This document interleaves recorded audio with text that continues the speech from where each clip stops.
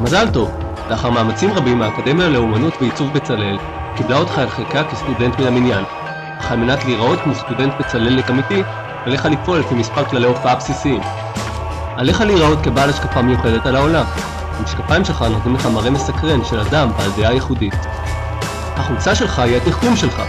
החולצה שלך יכולה להכיל מסרים מגוונים אשר מהווים אינדיקציה עבור מנת המשכל שלך. הנעליים שלך הן הפילוסופיה שלך.